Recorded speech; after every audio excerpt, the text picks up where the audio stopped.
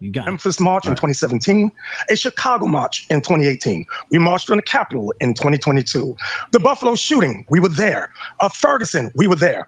What were we teaching? In Matthew 22, this is what Christ said to us, verse 37. And Jesus said unto him, Thou shalt love the Lord thy God with all thy heart and with all thy soul and with all thy mind. This is the first and great commandment. And the second is like unto it, Thou shalt love thy neighbor as you love yourself. Most people don't know who their neighbor is. They think their neighbor, first and foremost, is the Caucasian around the block or the Arab. But when you read what Moses, Christ is quoting Moses, okay, let me show you who the neighbor is. Watch, I need everybody to just listen, just listen for a moment. Just give me a moment. Leviticus 19 and verse 17. This is what Christ got the quote from. Thou shalt not hate thy brother in thine heart.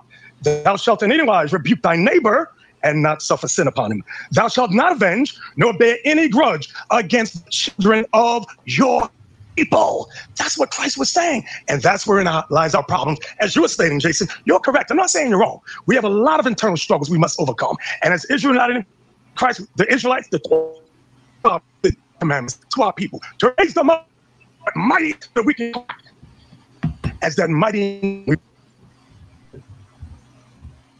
I do remember Jesus teaching after somebody asked, "Who is my Yeah, neighbor?" right, and who's my neighbor, taught right, about the right. good Samaritan. Yeah, he didn't read that Oh my part, did he? All right, D. New. No. BK, can you put up those uh, video titles? Did you get? Oh, I did. I did one better. I got you some Everyone should screenshots. just pay attention though what he just said. I know the panel knows.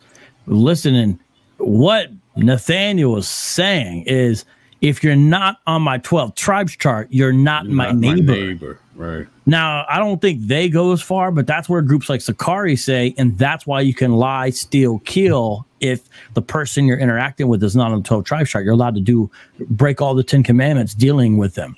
It's like one West taqiyya. Now, he doesn't say that, but I could see that being a logical implication of what it's saying, you know. And so, I mean, is it really true that most folks, uh, if if you grew up in Southfield, the the, the neighborhood uh, right next to the neighborhood I grew up with, it's like uh, at the time it was like ninety some percent black. There's anyone hearing that would not have thought. Oh, I'm thinking the white man at the block. They would have thought about their other neighbors who were. I don't know what he's talking about. Like they think the white man at the block. Well, n- n- not uh, what. What's he saying? I don't know. This is there's just so much wrong. It's like he has to gaslight. Go ahead and use it. Jason Whitlock into thinking that he's in captivity, that everyone's against him, that he's nothing. He has to like tell him all that, and Jason's like, well. Uh, that's not what I was taught. I was taught I was a child of God. I wasn't taught I was a worthless Gentile. You, you guys remember these parts where he's like yeah, he's like trying to convince him about his own life. Right. Yeah. My goodness, my goodness. So Michelle knows what Southfield is. So here's some interesting um, thumbnails of some IUIC sh- showing us how they feel about the black woman. How do they feel about the black woman? Do you? Um, so th- this is I IUIC fools people, okay? IUIC uh, presents this image that they are pro uh, for their people, pro black people. But do you have do you have more than this? Oh, I got no? more. Got Okay. more. Um, but you know, we can go through some of their video titles and we can see how they're not they're not pro black. They're pro men, maybe. They're pro black men. They're definitely not pro black women. So here's some video titles uh Black woman, you have failed. Did you know that, black women in the chat? You failed, man. That's it. And these are to be clear, you know, these aren't just uh images. These are teaching videos, right? Half an hour. half Wait, an wait, hour, wait. half an hour. Wait, she's is she putting on the white woman mask or taking it? What is what is that on the right with the white woman? I woman guess mask? she's she's a black Karen. I guess. I guess that's what they're trying to say. Maybe That is unsettling, isn't it? It's a, li- black woman is loud and stubborn. but the lady on the right, my goodness. Four black women. Black woman has four gods, and not one is the black man. Yeah, I just want to say that the um so this is the thumbnail, but the actual title that was written out, there was an exclamation point after black man, as if you know the audacity, the audacity that a black man is not one of the four gods, you know. Close your mouth, black woman. yeah, that's inspiring. Yeah. Don't you feel edified, black women? Don't you feel good, Dinu, when you see when you see that?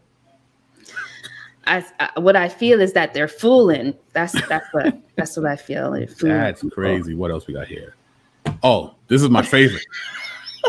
from straight straight from Captain Enoch himself. The black woman is the devil. Vocab, you're finally off the hook, bro. They always call you the devil. They, you, they're, you wrong. They're wrong. It's the black woman. I want to thank these two sisters on the cover and these three sisters for taking my these four sisters for taking my place. I want. I There want you go. There you go. Yo, what? So Uh, let so me say, I'm sorry. I haven't seen a lot of these, so I'm like, I'm just tripping off of these in real time. These, these are something else right here. So let me read a few more that uh, I might repeat, but here- here's a few more that I didn't see that you had the thumbnail for. Mhm. Um, older Black women have destroyed our community. Okay. Wow. Uh, Wow. Close your mouth, Black woman. Black Yeah, I showed that. women. Oh, you did that. Black women Mhm. are, are re- rebellious. Black women, woman, you have failed. Um, oh, the Israelites. Black woman, shut up and know your place. I'll do that in a second. Just let me finish saying what I have to say. Black woman, the black man is your savior. Submission is required. Okay. This is what IUIC teaches. Okay. I've seen so many videos um, from just lay people who see them doing marches and commenting on the unity and the strong black men coming into their community and being pro family. No, let these video titles sink in. Okay. This is how IUIC lifts up the black community. This is how they bring unity to the black community by degrading black women. Can you read that last one again, Dinu? The very last one. Yeah. Black woman, the man is your savior, submission is required. Romans 10 9 10 remix right here, right? Uh, just Romans 10 10 remix. Um, let's do Romans 10 9. If you confess with your mouth that the black man of IUIC is Lord and believe in your heart that the black man of too IUIC is God, you will be saved. Woman. what is this? I mean, I mean, my goodness. And, and, you know, not only that, on the Whitlock video, I made one little comment, right? Every time I do a comment on these public things that are happening now, like on Twitter, I always get some one West be like, We see you, Agent Hammond.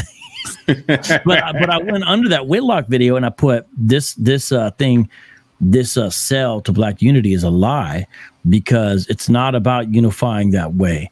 The proof is if you have a spouse, man or woman, who joins up in IUIC, if the other spouse doesn't get with the doctrine within six months, they have compulsory divorce, or the person can't progress in the school or may not even be allowed to be in there. So it's clearly not unity just of the community, the family, because otherwise you wouldn't force divorces uh, with your backwards interpretation of First Corinthians 7 that they do.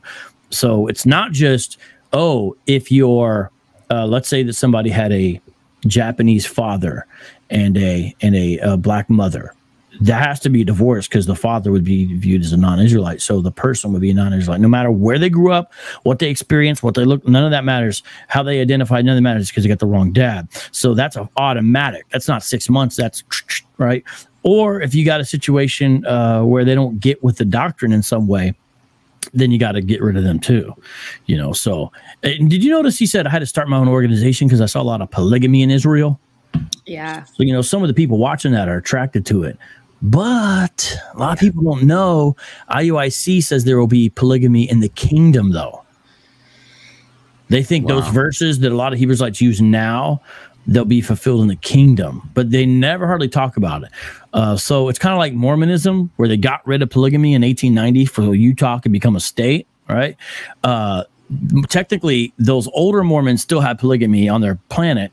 You know, they still got their wives, but so do Mormons who had more than one wife in some way. They'll also have those wives available to them uh, when they have their planet, if they're faithful Mormons as well. So it's polygamy later on as well.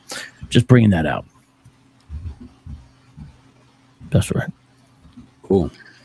Cool. So, so yeah, I mean, I do appreciate Mr. Whitlock's conviction of um, freedom of speech, but I also hope that he believes in free and equal time as well. And the reason why I say that is that I, I think it'd be great if one of us were, was invited by Mr. Whitlock to give our side of of IUIC.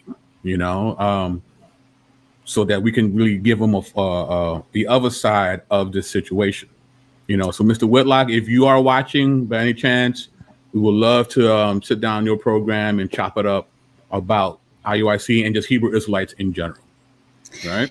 Yeah, you know, and that is something that um, he said early on uh, midway through the interview, maybe that he wasn't able to um, contest or really address uh, Nathanyel biblically, biblically because he's not a scholar. And so um, that would be great if someone could kind of uh, take his place in that way on his platform because their their their doctrine and their Bible interpretation is sketchy.